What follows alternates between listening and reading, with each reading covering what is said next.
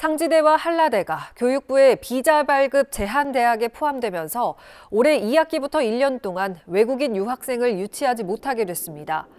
교육부와 법무부는 외국인 유학생의 불법 체류 문제에 대응하고 각 대학의 국제화 역량을 높이기 위해 매년 외국인 유학생 불법 체류율, 공인 언어 능력 등을 토대로 인증 심사를 하고 있습니다.